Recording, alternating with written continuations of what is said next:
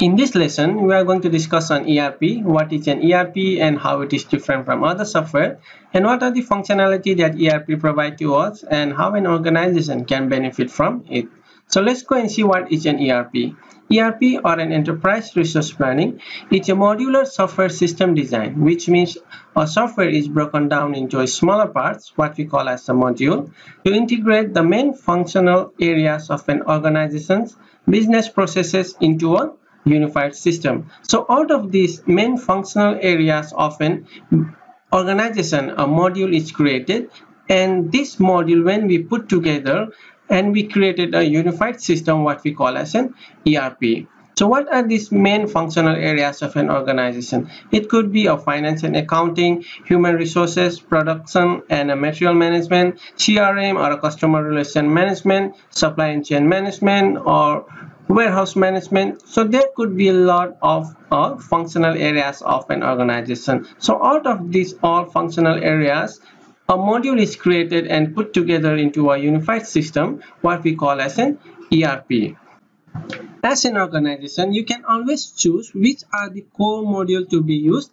based on your particular business needs. So if your organization is only dealing with finance and accounting and warehouse management you can only use these two modules you don't have to use all of the modules that is present on ERP and when you purchase a license you always have a choice to choose which are the core module that you want to purchase.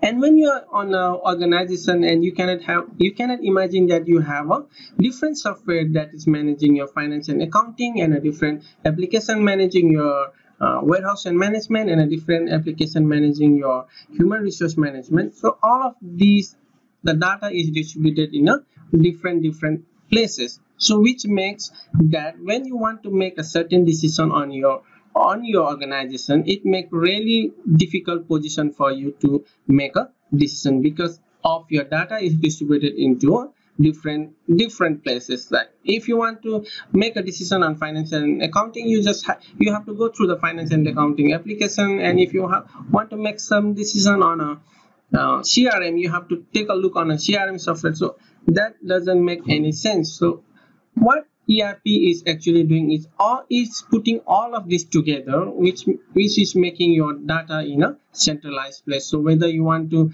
um, check on finance and accounting or whether you want to check on human resource management or whether you want to check on uh, warehouse management. So all is in you know, one place and your data is a centralized place. So this make a really good sense when you want to make a certain business uh, decision and it will help you to make a certain business decision at a specific time. So otherwise you have to go through and look through an another application and for uh, you have to go through look in another application. That is a very time consuming and it's a waste of time. So through an ERP what we are achieving is we are having all of these functional areas in one application and one application is managing all of your data so that is a best point of it right? So there is in one task for you. You can go through and search more on ERP uh, what I mentioned over here is just a short description on ERP and you can always go through an ERP uh, search on ERP and learn more about it. So hope you guys have a basic understanding on what is your ERP and if you have any question do let me know. And thank you for watching and I will see you in the next video